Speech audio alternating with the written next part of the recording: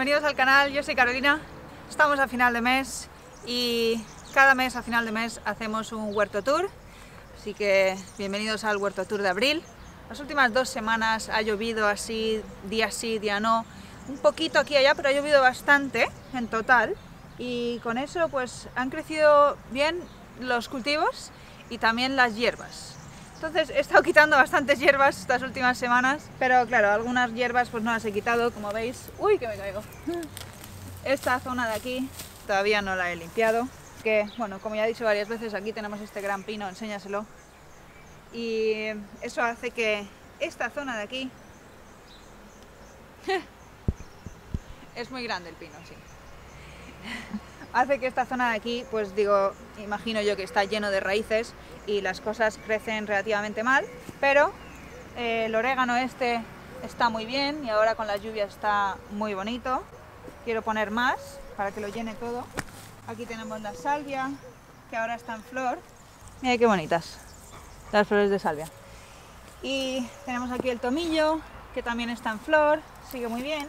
Y otra cosa, aquí lo que he estado haciendo es ir plantando eso, aromáticas perennes para ver cuáles se dan bien aquí al lado de los pinos, no solo para este bancal en particular, sino un poco en general para la finca, porque como sabéis tenemos muchos pinos, entonces saber las aromáticas que se dan bien entre los pinos está guay, ¿no? Entonces aquí he plantado eh, dos tipos de lavanda, tenemos esta que es dentada, pero como que no es pelosa, no tiene pelusa, y aquí una que es dentada, pero sí tiene pelos. Ahí hemos puesto un tomillo limón, ¿lo ves?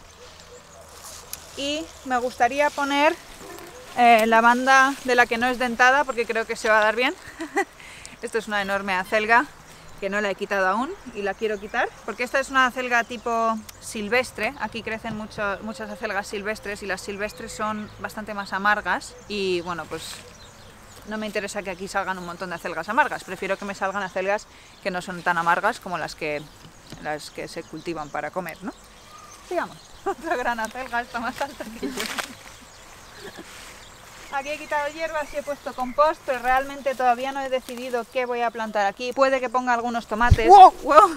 Cuidado. Puede que ponga algunos tomates porque he plantado bastantes tomates en el invernadero, más de los que me caben en los bancales que tengo designados para los tomates, principalmente porque me parecía que los tomates del invernadero estaban creciendo muy lentos, entonces compré unos cuantos en el vivero y ahora me arrepiento un poco de haberlos comprado porque los del invernadero están casi igual de grandes que los que compré del vivero, porque los que compré del vivero ahora os los enseñaré, que están fuera y bueno, ha habido algunas noches frías y en el invernadero pues no hace tanto frío y pues vamos, que crecen mejor. Pero bueno, vamos a tener que ir haciendo espacio. Hablando de tomates, en este bancal, que es donde tenemos los ajos para ajos seco, que realmente hasta, no sé, quizá julio o así, finales de junio, no van a estar listos para cosechar. Puede que estén un poco antes, pero acá hasta que no los cosechemos, o por lo menos algunos, no voy a poder plantar aquí los tomates que quiero plantar. Quiero plantar aquí tomates cherry. He guardado unos tomates de los que teníamos muchos el año pasado, que son cherries diminutos, minúsculos. Quiero poner aquí cinco jaulas redondas. Creo que usaré mallazo como este que tenemos para hacer unas jaulas redondas y plantar un tomate en cada jaula y así no tenemos que estar podando y atando eh, los tomates porque, porque están en las jaulas. Esperemos que salga bien. Aquí en el tipi os comenté que quería plantar las judías que hacen flores rojas, que esa planta de ahí, ¿la ves? No, observando tu precioso tipi. Pues esa planta de ahí es una judía de esas de flores rojas, que la variedad se llama Firestorm, Firestorm, tormenta de fuego. Firestorm. Firestorm. Y en el, eh, aquí al lado Solo he plantado una, porque el año pasado realmente se hizo bastante grande esa planta, y aquí no sé si sembré tres o cuatro, y al final había un montón, y yo creo que a lo mejor por eso no, no cuajaron tantos frutos, porque se competían mucho. Total, que he plantado una, y no sé si plantaré otras judías más pequeñas, pero de momento aquí una, y lo que sí que he plantado aquí son pepinos.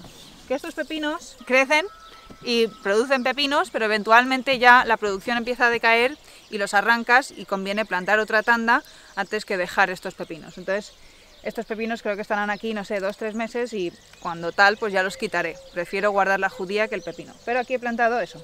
Aquí hay dos plantas de pepino y ahí hay una. Y yo creo que subirán aquí guay y creo que van a estar bien. Y veremos. Aquí al lado he puesto un girasol, este girasol es pequeñito, creo que es de colores, y este girasol sí que es un girasol gigante de esos que he sembrado que son que pueden llegar a, medir 3 o 4 metros.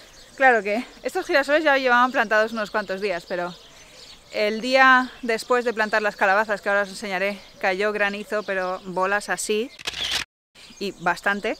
Entonces, pues están un poco magulladas, ¿vale? Tienen agujeros, pero bueno, se recuperarán. Están ahora un poco feas porque son las únicas hojas que tienen, pero estarán bien. Aquí, siguiendo, tenemos el bancal que tenemos espárragos y tenemos las fresas.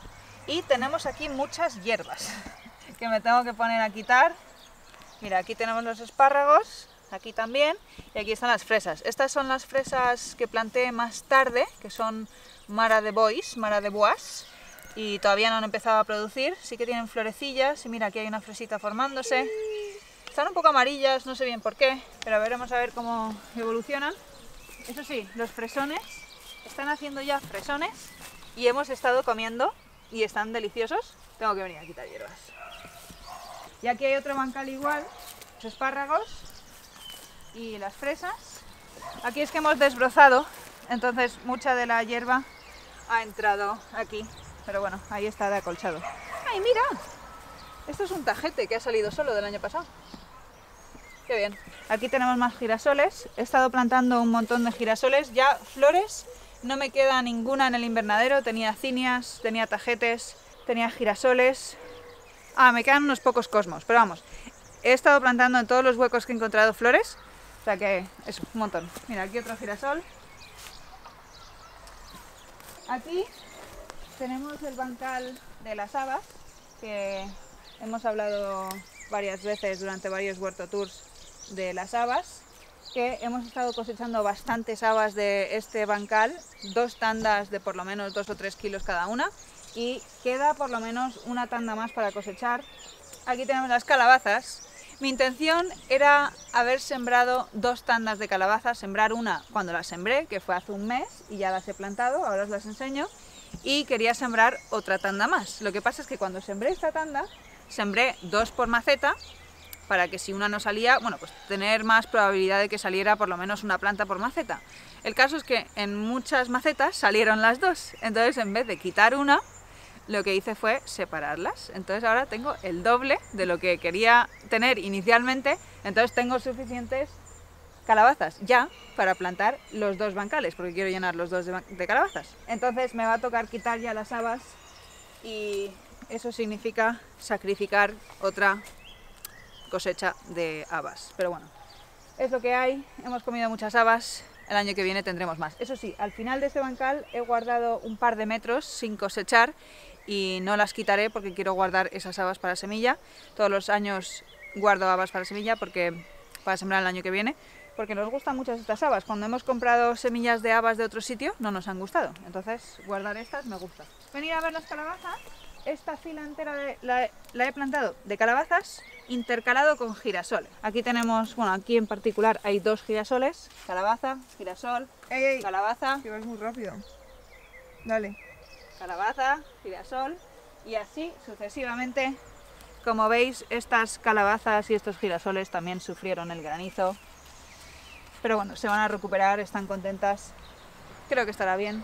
Lo que quiero hacer en este bancal es también intercalar las calabazas de esta manera, pero vamos a intentar que la calabaza del otro lado no esté justo aquí, sino que esté delante del girasol, ¿no?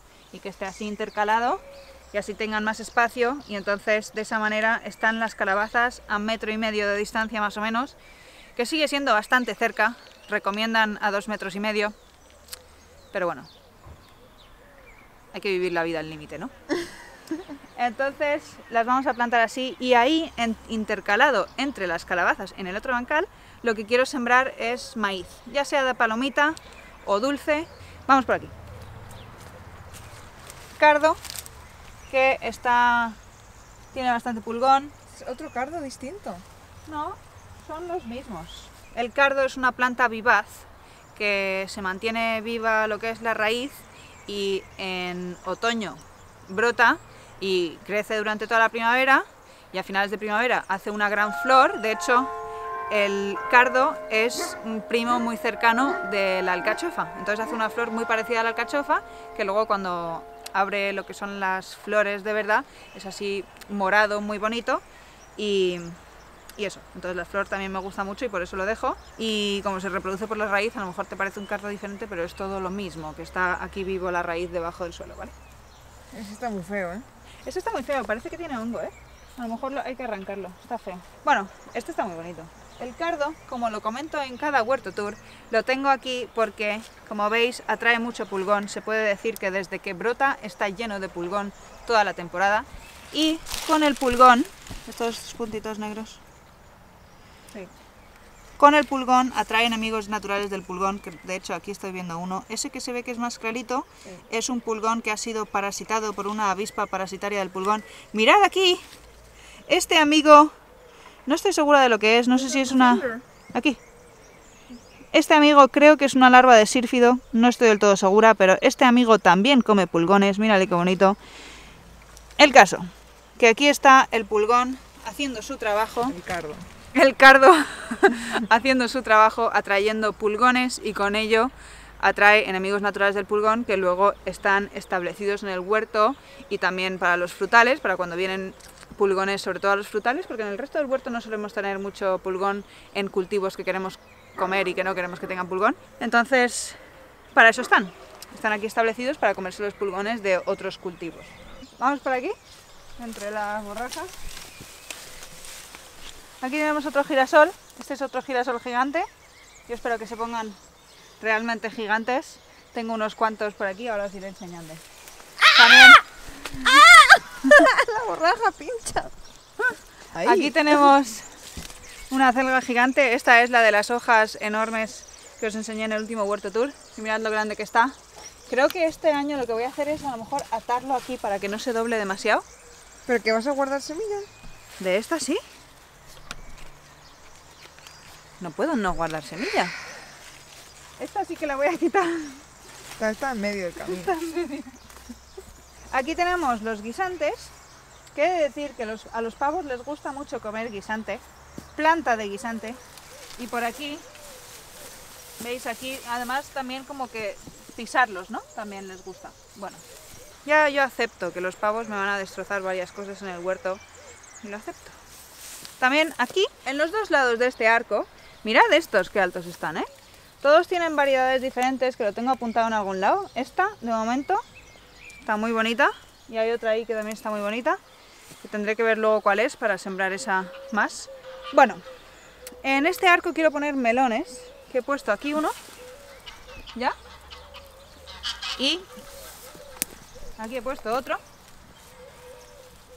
Y también he puesto algunas judías. Mirad como esta. Judías de enrame.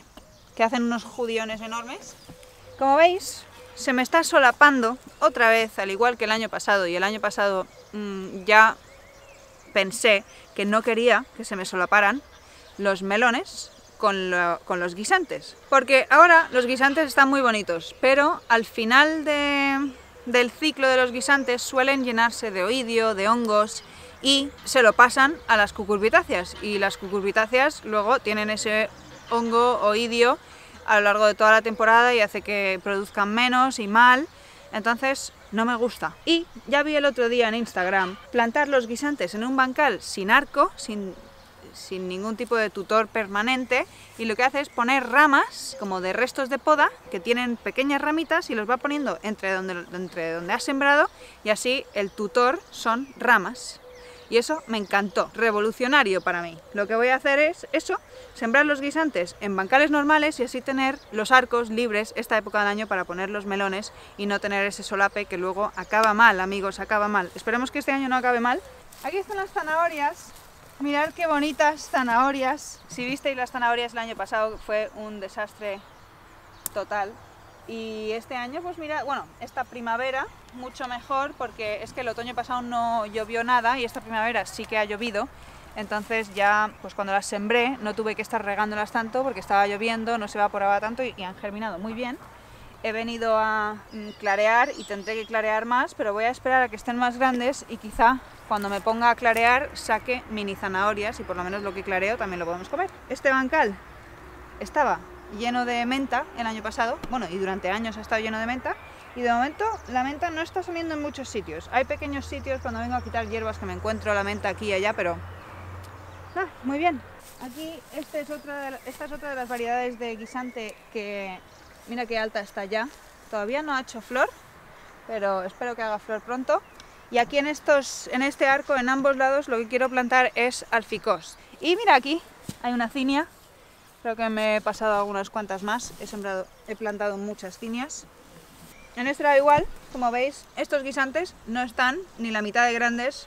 Voy a tener que mirar qué variedad es esta para no volverla a sembrar porque no se ha dado muy bien. Quizá los quite y así puedo plantar ya aquí unos alficós que tengo en el invernadero que ya les están saliendo zarcillos y todo que tienen que ser plantados, pero ya. Aquí está la menta que sí que queda. Aquí ya he quitado todas las acelgas y todas las hierbas que había. Está saliendo por aquí, por allá. Yo espero que salga más. De momento estoy viendo poca cosa, pero vamos, todos los años sale. Y también aquí hay cinias. Esta parece que se la ha comido alguien. Cinia. Ahí hay otra cinia. Neo. ¡El anillo!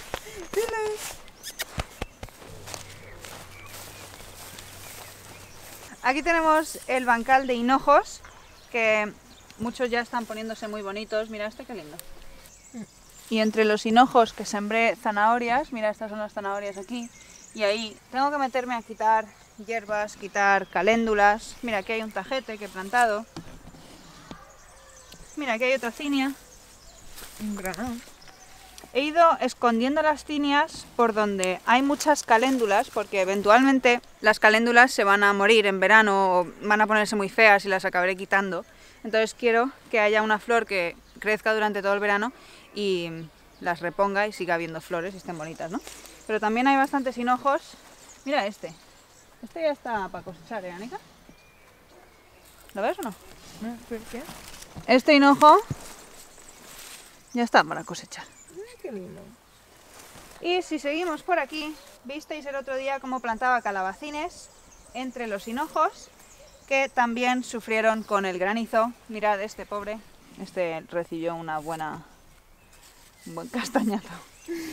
Y cinias he sembrado entre medias donde no había calabacines. Y bueno, pues aquí es un bancal un poco popurrí y mi idea es que estos hinojos, a medida que se vayan haciendo grandes, los vamos a cortar para comérnoslos y entonces vamos a ir dejando más sitio para los calabacines que están aquí, mira, aquí hay uno muy grande. Lo bueno del hinojo es eso, que tiene unas hojas muy pequeñitas, muy finas, entonces deja entrar bastante luz y así no le tapa la luz a los calabacines. Y bueno, creo que, creo que va a ser una buena asociación. Es la primera vez que lo hago y tengo esperanza de que va a ser buena. Aquí en el otro lado, aquí están las cebollas, que mirad lo grandes que están, que como ya he dicho varias veces en vídeos anteriores, lo que vamos a ir haciendo es quitando algunas cebollas para poder plantar aquí tomates de los que tengo en el invernadero. Aquí están los guisantes en este arco de palos y en, en ambos lados he puesto pepinos y aquí en este lado he puesto una sandía y lo que voy a hacer cuando tenga las sandías más grandes en el invernadero, mira la sandía está aquí. Eso, cuando tenga las, las sandías más grandes en el invernadero, espero que ya mm, pueda hacer hueco aquí entre los guisantes, quitar algunos guisantes y plantar ahí las sandías y que este arco sea todo de sandías. Esa es la intención. Tenemos otro girasol gigante que este en particular y este también. Está más pequeñito. Y este.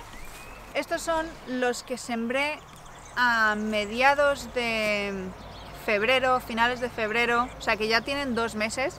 Y mirad lo grandes que están. Estos son los que deben crecer 3 o 4 metros. Vamos por buen camino, ¿eh?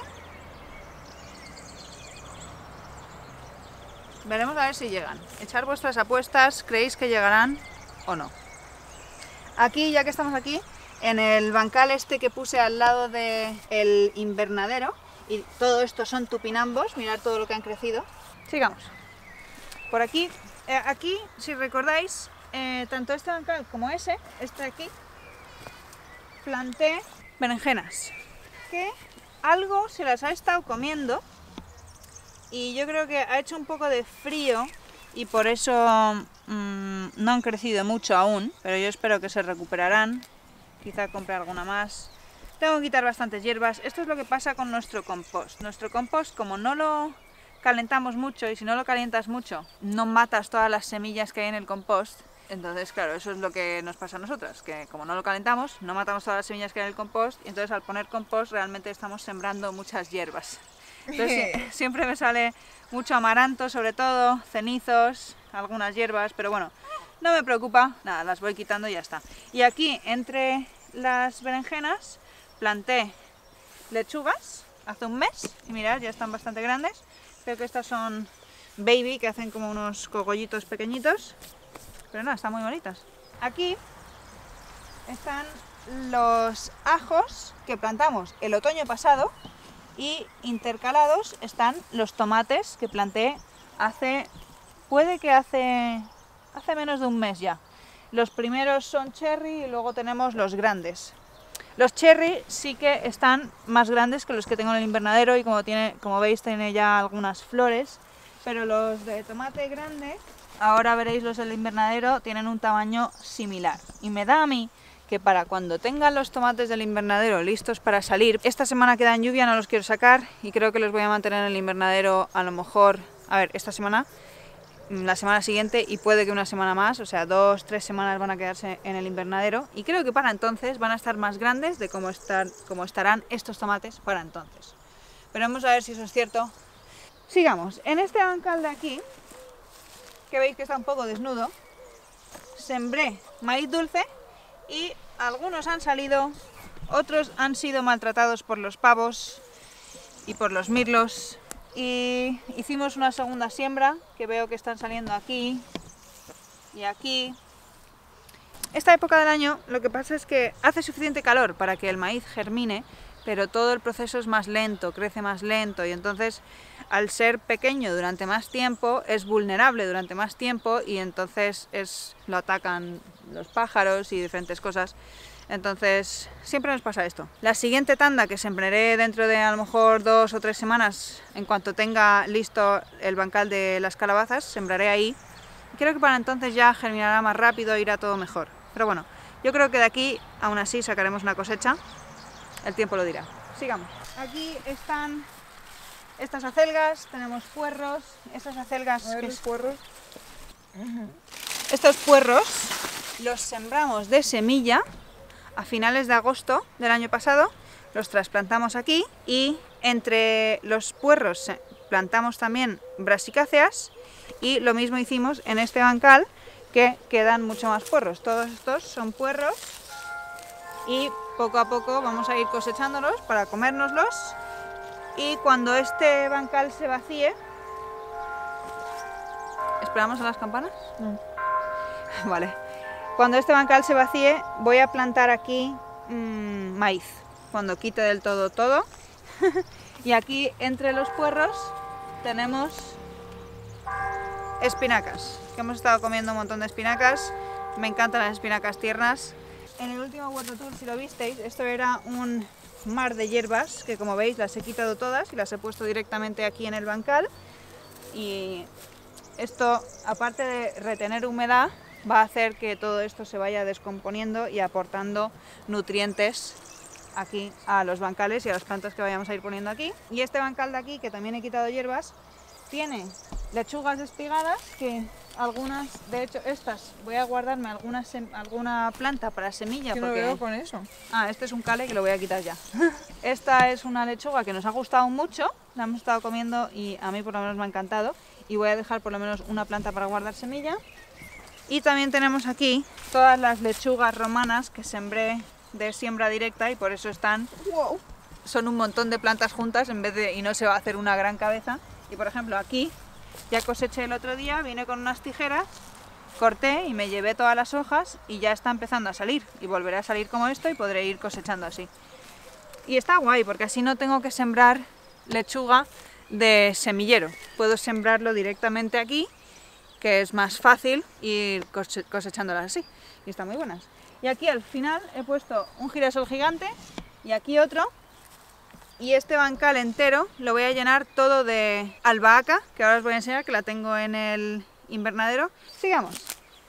Aquí este bancal es el bancal que había pimientos el año pasado y he vuelto a poner pimientos este año porque caí en la tentación porque se dieron muy bien aquí el año pasado, principalmente por tener la sombra de este olivo a mediodía, porque aquí en verano a mediodía hace un sol y un calor mmm, que te matan y los pimientos se acababan quemando. Las partes que les daba el sol se quemaban, incluso las plantas cuando están a pleno sol como que se quedan mmm, feas, que no acaban de crecer bien. Y aquí bajo la sombra del olivo se dieron muy bien el año pasado y eso, entonces las he vuelto a sembrar. Y entre los pimientos, estos son los pimientos, son pimientos gordos, rojos, aquí otro, aquí otro, tenemos espinacas. Estos son espinacas que he sembrado y eso, van a ir saliendo para poder comer espinaca tierna. El año pasado lo que puse entre los pimientos fue lechuga, que también se dio muy bien.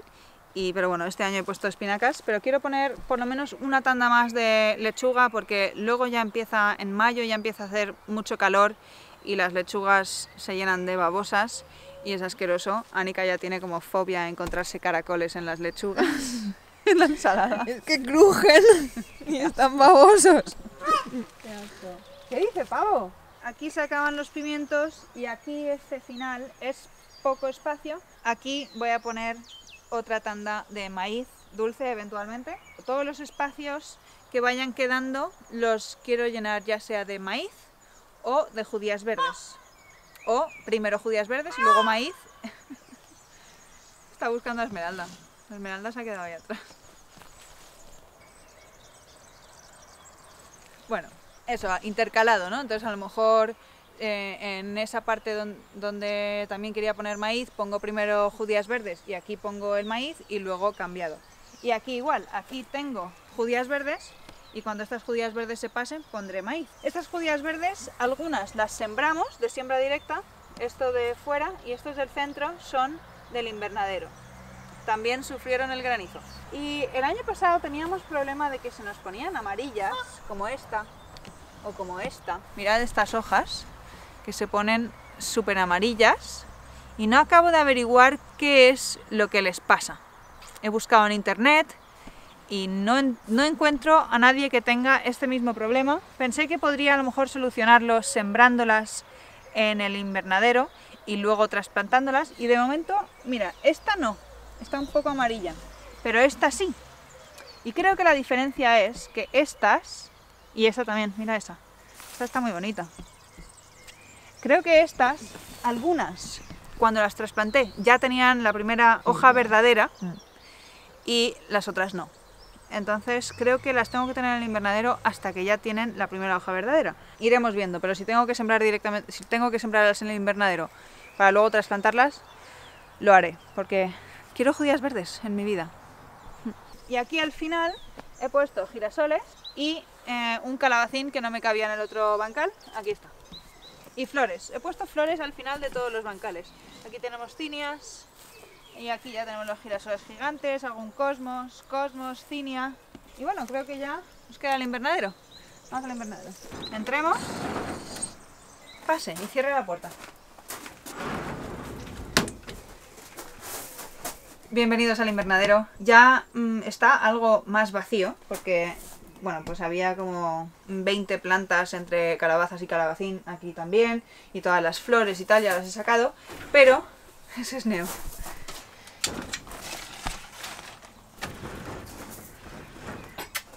Venga, Neo. ¿A qué hora se? Viene. Aquí quietecita.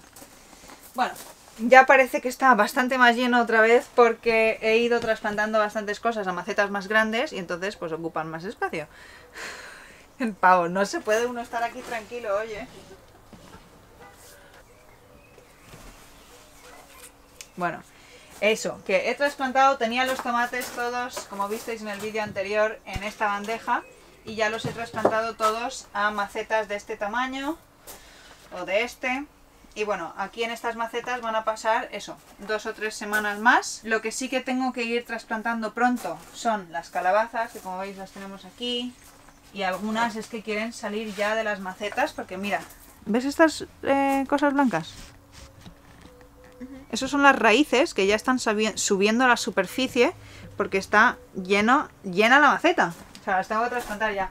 Lo que pasa es que dan una semana de tormentas y como las trasplante y me caiga granizo otra vez, me enfado. Entonces, eso, quiero esperar a que se pasen las lluvias, pero ya me tengo que poner a preparar el bancal para que cuando se pasen pueda trasplantarlas. Otra cosa que quiero trasplantar ya también son estos alficos, que como veis ya tienen los zarcillos, mm, tie- quieren salir ya de la maceta. Tenemos aquí la albahaca, que está muy bonita, eso, también va a pasar aquí un par de semanas más. Los pimientos, mirad cómo están creciendo, pero ¿veis? Mm, los pimientos sí que me habría gustado empezarlos un mes antes de cuando los empecé, pero no tenía el invernadero y por eso no lo hice. Pero, o sea, ¿veis la diferencia? Un tomate y un pimiento en, el- en el- en la misma cantidad de, de tiempo. Los pimientos crecen bastante más lento. Aquí tenemos judías. Estas son judías de enrame, que son judías que se ponen enormes, son las que hacen esos judiones, que yo no quería plantar demasiadas porque se ponen muy grandes y ocupan mucho espacio y tengo espacio limitado en los arcos. Pero le dije a Anika, Anika, ponte a sembrar judías ahí, de las blancas pequeñitas. Y Anika se puso a sembrar los judiones gigantes por ahí, como si fueran mm, de mata baja. Total, que... A ver, A ver, cuéntanos. mi defensa, me da una bolsa que no es transparente ni nada y está todo en francés. Y me dice, toma, siembra judías blancas pequeñas. Claro, me da una bolsa que está todo en francés. Yo pienso que son las judías blancas pequeñas. Yo cojo y siembro las judías blancas, que eran blancas, pero muy grandes. Digo, pues habrá judías blancas más grandes que estas. Y estas son las pequeñas. ¿Qué, qué, qué quieres? No me explica nada, falta de comunicación, amigos. Bueno, y que no estaba yo ahí para supervisarme, fui yo a hacer otra cosa. Y a la mañana siguiente... Confiaste, confiaste, que la confianza es buena también. Total, que a la mañana siguiente voy y veo por encima de la tierra algo que parece un huevo. Y digo, ¿alguien ha puesto aquí un huevo? No, era un judión que ya se había hinchado de agua y estaba enorme. Digo, no puede ser que Anika sembró judiones y no las judías de mata baja. Y me puse a cavar y saqué un montón. Y me tuve que poner a moverlos. Y de hecho, algunos los he plantado en la base de los girasoles gigantes. Que no sé cómo va a salir eso. Va a ser un poco locura. Y claro, entonces ahora tengo un montón y voy a tener que buscarles sitio en los arcos. Pero bueno. Y aquí tenemos más judías de enrame, pero de las que se comen, porque estas se comen, pero. O sea, para judía verde. Las de los judiones estos son para secar y comerte el judión como judía. Y en este mismo, en esta bandeja de alveolos, tenemos estos que son fisalis, pero fisalis de esos que hacen, no el tomatillo, sino de esos que hacen unos frutitos mm, naranjas. Y no sé, creo que ya está, no tengo nada más que, que enseñar. Bueno, y tenemos aquí las lufas, que son las cucurbitáceas que más han tardado en germinar, porque estas las sembré al mismo tiempo que todas estas, y la grande que os he enseñado, y todas las que he trasplantado. Y estas acaban de germinar. O sea que tardan, tardan bastante. Y nada, ya estaría. Creo que ya vamos a terminar el huerto tour. Muchísimas gracias por estar aquí, por ver nuestros vídeos y apoyarnos. Lo agradecemos un montón. Esperamos que hayáis disfrutado de este vídeo y hasta la próxima.